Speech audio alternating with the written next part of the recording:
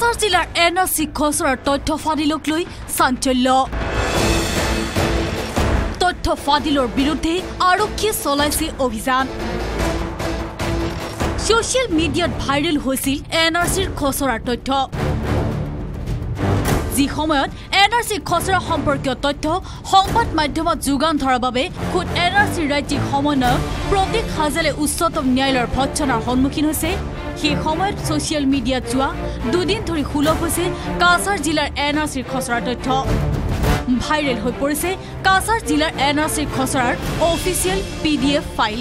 Cachar জিলাৰ মধুৰবন এলেকাৰ দুশ ঊনসত্তৰ পৃষ্ঠাজোৰা এন আৰ চিৰ colour P D F file viral হোৱাৰ পিছতে সমগ্ৰ কাছাৰ জিলাত সৃষ্টি হৈছে ব্যাপক চাঞ্চল্যৰ। এই চাঞ্চল্যকৰ পিছতেই তথ্য ফাদিলকাৰীৰ বিৰুদ্ধে আৰক্ষীয়ে চলাইছে জোৰদাৰ অভিযান। বুধবাৰে কাছাৰ আৰক্ষীয়ে চিল কৰিলে মধুৰ বন্দৰ ৰাজা ষ্ট'ৰ নামৰ এখন কম্পিউটাৰ দোকান। দোকানখনৰ পৰা বাজেয়াপ্ত কৰিলে দুটা কম্পিউটাৰ দুটা প্ৰিণ্টাৰ আৰু পাঁচটা পেন ড্ৰাইভৰ লগতে এন আৰ চি খচৰাৰ আপত্তিজনক বহু নথি এই অভিযানৰ সময়ত দোকানখনৰ পৰা পলায়ন কৰিলে দোকানখনৰ স্বত্বাধিকাৰী ৰাজা মজুমদাৰ।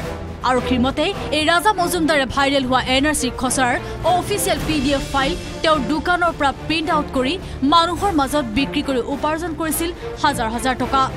পলাতক ৰাজা মজুমদাৰৰ সন্ধানত আৰক্ষীয়ে অব্যাহত ৰাখিছে অভিযান। শিলচৰৰ পৰা Aniruddha Laskar news eighteen Assam North East.